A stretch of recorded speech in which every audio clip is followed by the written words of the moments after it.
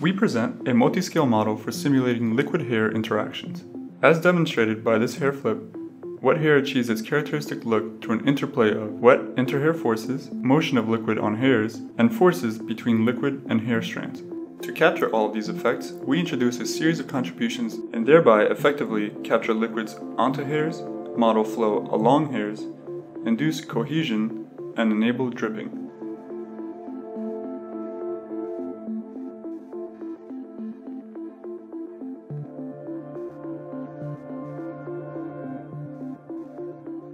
We begin by exploring the reduced flow representation of liquid stored on an individual strand. A static accounting of liquid on the hair will not allow liquid to flow along the strand. The reduced representation allows for flow, and as flow accumulates, we allow it to drip by converting it to our particle representation. Again, we see the importance of both allowing liquid to flow and then drip with a model which can handle liquids locally and in the environment.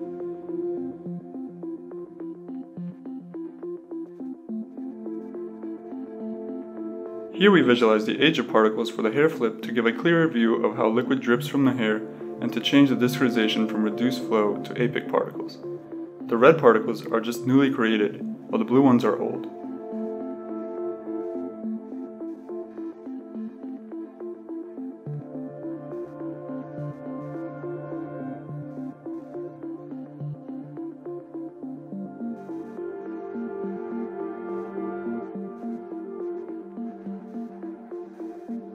Since the liquid stored on strands has its own coordinate frame, we must be careful to account for external forces from within the liquid flow, which leads to a correct dismissal of liquid as strands move about.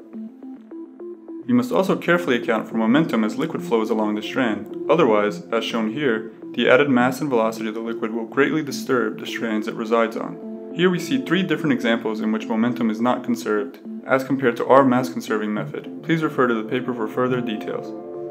Naive velocity rescaling leads to severe spurious bending.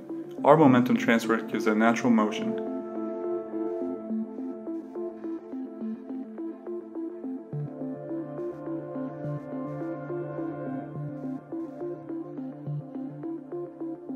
To correctly go from dry to wet hairs, liquid poured over a strand must be captured onto the strand, converting from the particle representation to the reduced layer on the hair with careful conservation of liquid volume.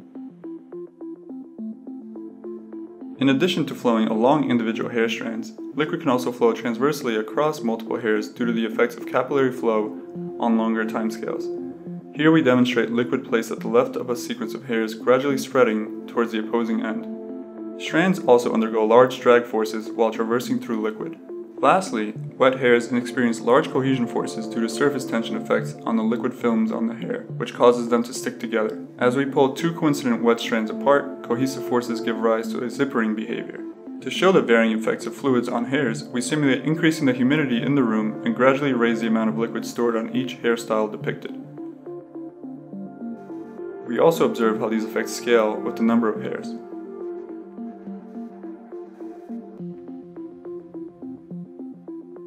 Our liquid bridge-based model of cohesion is able to reproduce the tree structures observed in the laboratory experiments of Bico et al. Please enjoy the following results.